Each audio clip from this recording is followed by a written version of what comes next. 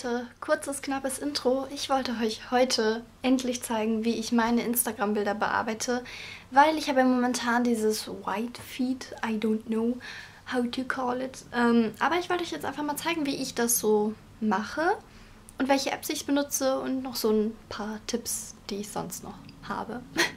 Also, auf geht's!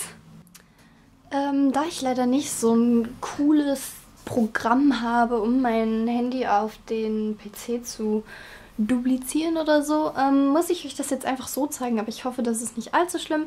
Ich benutze zum Bilderbearbeiten einfach nur die App äh, ViscoCam und PixArt. Ich beginne dann mit ViscoCam. Hier könnt ihr ja zum Beispiel sehen, meine Bilder sind nicht von Anfang an äh, so schwarz-weiß mäßig, sondern halt so.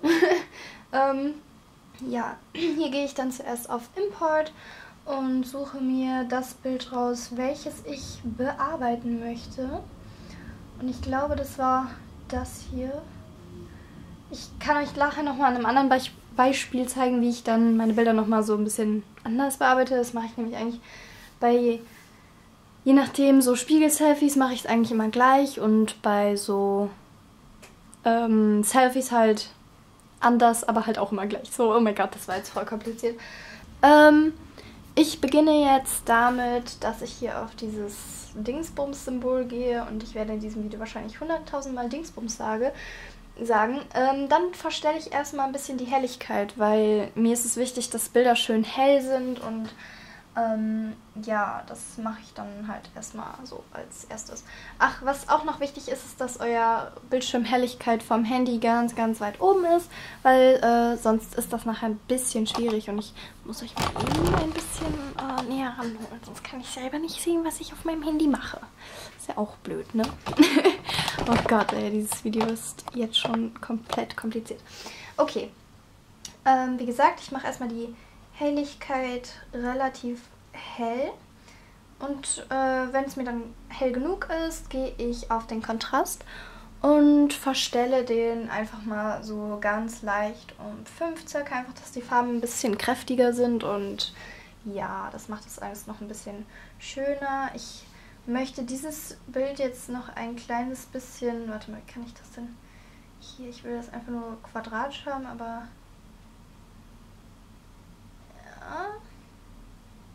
Einfach nochmal ein bisschen ausgeschnitten. Was mir auch wichtig ist, ist, dass die Bilder immer quadratisch sind. Das heißt, ich fotografiere die Bilder. Mit dem iPhone kann man das zum Beispiel so einstellen, dass die Bilder halt quadratisch sind. Und das mache ich dann auch immer.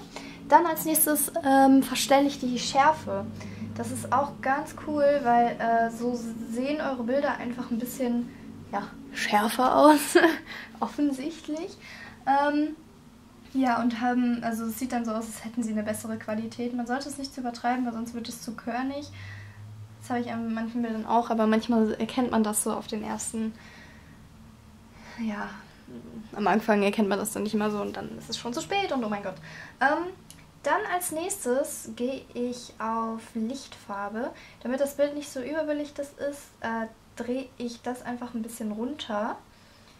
Beziehungsweise hoch, ihr könnt das ja so erkennen dass es einfach dann nicht so ganz überbelichtet ist. Ist auch eine echt super Funktion. Dann der wahrscheinlich wichtigste Step in meinem Bilderbearbeiten ist, dass ich die Temperatur ähm, in den Minusbereich setze. Einfach, dass die Bilder zum Beispiel hier sieht man das ja, dass sie dann bläulicher werden und hier gelbstichiger. Ich mag es halt einfach ein bisschen kühler. Ähm, ja, Lel. so. Es ist auch immer ganz gut, wenn man dann so ein bisschen ranzoomt, aber man sollte es immer aus so einem Gesamtbild sehen, weil wenn ich so ein Bild bearbeite, dann ist es mir wichtig, wie ich in dem Bild aussehe und nicht der Hintergrund, weil den Hintergrund werde ich sowieso schwarz-weiß machen. Und hier könnt ihr nochmal den Unterschied sehen, so war es vorher und so ist es jetzt. Ich werde das jetzt einfach mal so auf zwei lassen. Das gefällt mir eigentlich ganz gut, denke ich. Ich werde nochmal ein bisschen was an der Helligkeit ändern. Und dann wären wir eigentlich auch schon durch mit dieser App. Ähm, was ihr natürlich auch noch machen könnt, ist zum Beispiel die Sättigung ein bisschen höher, dann wird das Bild rotstichiger oder halt auch wieder runter, dann wird das Bild ein bisschen ja, weniger farbig. und dann könnt ihr halt noch ein bisschen mehr mit der Temperatur spielen. Und ja. gefällt es nicht, dass meine Knie so rot sind. Das fuckt ein bisschen ab. So. Aber im Prinzip wäre das dann schon mit dieser App. Ich kann euch das nochmal so ein bisschen näher zeigen, hoffentlich, wenn es ein bisschen scharf stellt. Ähm, ja. Dann geht ihr auf Speichern und dann auf äh, diese drei Punkte hier. Dann in Aufnahmen speichern, Originalgröße und dann geht es auch schon weiter in die nächste App. Und zwar ist das PixArt. Die dauert immer ein bisschen zum Laden. So, dann gehen wir hier mal auf das nette Pluszeichen, bearbeiten, suchen unser Bild aus und dann beginnt auch schon der ganze Spaß. Ich hoffe, ich kann euch jetzt noch ein bisschen näher ranholen. So ungefähr. Das ist doch fast schon perfekt so. Ähm, weil wir gehen jetzt auf diesen Effekte-Filter. Der ist super klasse, weil hier könnt ihr ein bisschen durchscrollen und dann findet ihr relativ am Ende diesen einfach nur S- und W-Filter. Das bedeutet schwarz-weiß. Und jetzt seht ihr, ist das ganze Bild schwarz-weiß. Das ist natürlich nicht das, was wir wollen, weil wir wollen ja uns noch äh, bunt haben. Und deswegen gehen wir auf das Radiersymbol und radieren uns aus, wenn man das so sagen kann. Ja, das ist immer ein bisschen, ein bisschen nervig, wenn man wenn man nicht so, weil man da relativ genau arbeiten muss. Aber es macht halt schon viel her so, weil ihr dann fast immer ein einheitliches Feed habt.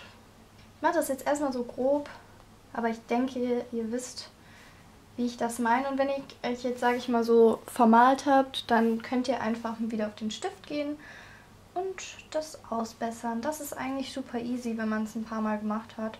Und ja. So, ich bin jetzt fertig mit dem Bearbeiten und als nächstes äh, gehen wir einfach hier auf dieses Häkchen und dann auf Text und dann auf Text. ähm, dann gebe ich immer mein Wasserzeichen ein, also meinen Namen Crystal Unterstrich, nein, Unterstrich Nelle. Crystal Nele. Nein, ich nehme keinen Crystal Meth. Ist okay, ihr Witzbolde. So, das setzen wir dann mal irgendwo hin, wo es ja, hinpasst.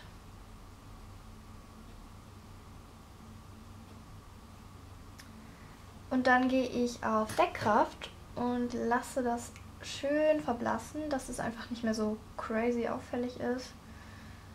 Aber ja, es ist immer noch da, wie ihr sehen könnt. Ne? Super klasse. Dann äh, kann man, weil mich das auch einige gefragt haben, wie ich diese Sticker mache, ähm, geht ihr einfach auf Sticker hier und da findet ihr zum Beispiel jetzt schon welche, die ich einfach so benutzt habe. Da kann man zum Beispiel auf Entdecken gehen und dann findet man hier echt richtig, richtig coole Sachen. Ähm, ich weiß nicht, was kann ich denn? Textbubble oder so? Text. Text. Wie schreibe ich Bubble? Bubble? Ja, auf jeden Fall kommen, wie man das hier schon sehen kann, kommen da schon einige. Was ist das? Äh auf jeden Fall, ähm, ja, kommen da auf jeden Fall richtig, richtig coole Textsticker und alles Mögliche. Das ist super, super cool und habe ich auch erst vor kurzem so rausgefunden. Ja, ich weiß nicht, ob auf diesem Bild jetzt unbedingt ein Sticker nöt nötig ist. Äh Komm, wir nehmen mal hier dieses Senpai Never. Upsila. Ja, okay, nee, das. Oder? Ich weiß nicht, ob mir das so gefällt. Muss mal eben. Wenn ich das hier so hinklatsche. Sieht das eigentlich ganz cool aus, oder? Sieht das cool aus? Sieht eigentlich ganz cool aus, ne?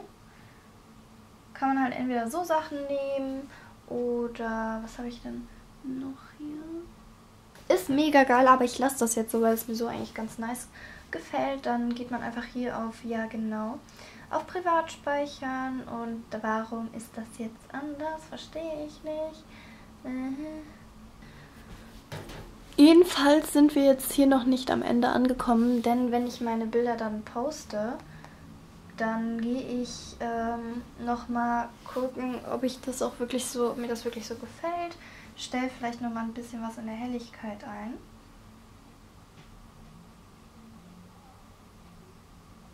So, nochmal ein bisschen den Kontrast. So, bisschen wieder die Wärme runter.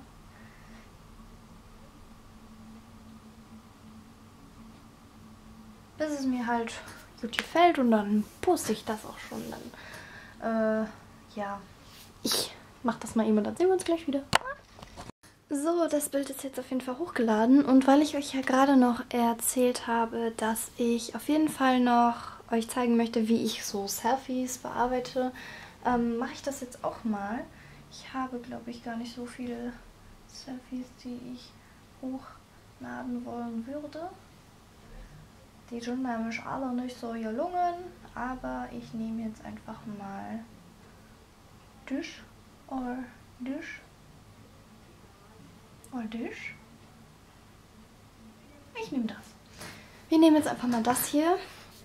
Ähm, wie ihr sehen könnt, der Hintergrund ist relativ gelb. Da gehe ich einfach wie gewohnt Helligkeit, Kontrast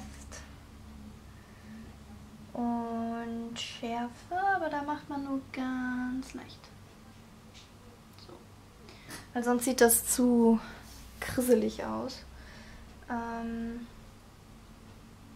bisschen die Überbelichtung rausnehmen und dann eigentlich auch schon die Temperatur. Das Ding ist, da kann man halt jetzt, muss man ein bisschen mit Kontrast und so spielen. Ein bisschen wieder die Schärfe rausnehmen. Das ist immer bei Selfies ein bisschen schwierig.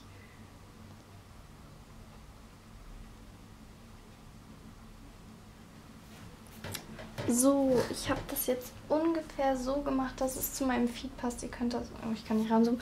Ihr könnt es ja ungefähr erkennen, dass es jetzt ein bisschen stimmiger ist.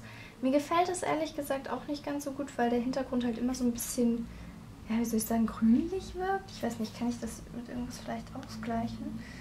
Ich schau mal. Lichtfarbe.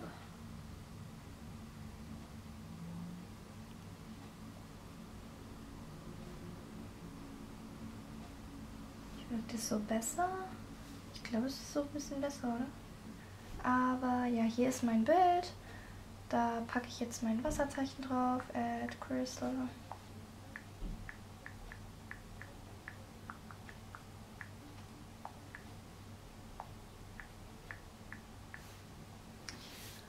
Oh mein Gott, ich hoffe, das Video war irgendwie ansatzweise hilfreich. Ich weiß nämlich selbst nie so genau, wie ich meine Bilder bearbeite. Also es ist schon im Prinzip immer das gleiche, aber man muss halt gucken, weil jedes, Licht hat eine, äh, jedes Bild hat eine andere Belichtung. Und demnach muss man dann halt jedes Bild auch immer ein bisschen anders bearbeiten. Und ja, hier habe ich jetzt zum Beispiel das Wasserzeichen schwarz gemacht, beziehungsweise grau. Ich habe ja hier den, die Deckkraft noch ein bisschen rausgenommen ja, Crystal Mine, so, sieht doch schon mal gut aus.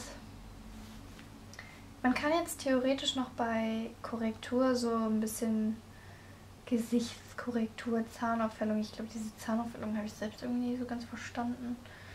Keine Ahnung, das macht es irgendwie einfach nur grau und das finde ich halt irgendwie komisch und ja. Ich weiß nicht, man könnte jetzt noch gucken, wie das aussieht, wenn ich hier den Hintergrund schwarz-weiß mache.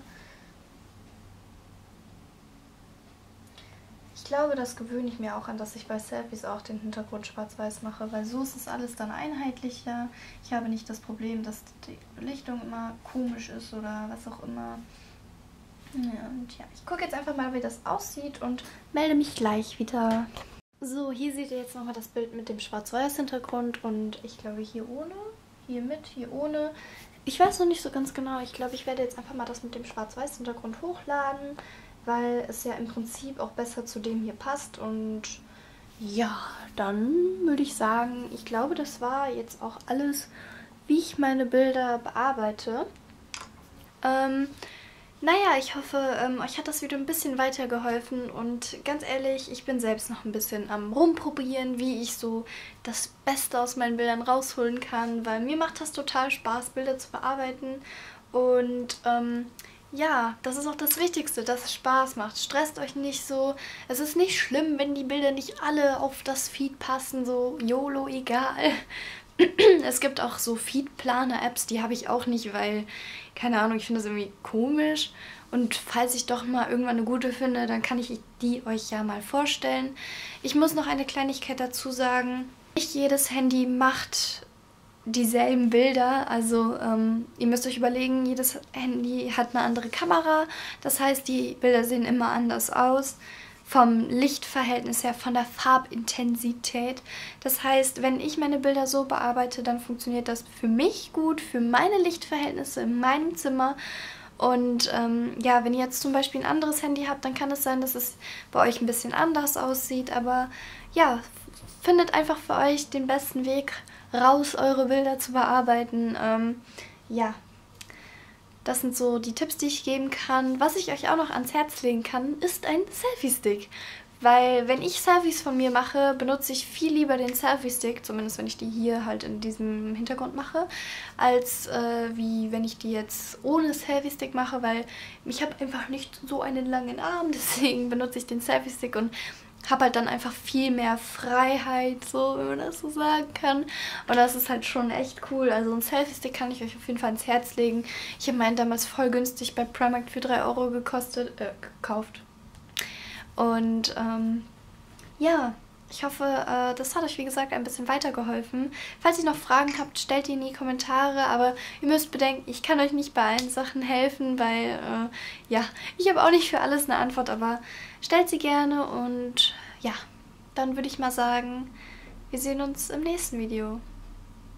Und ja, ciao.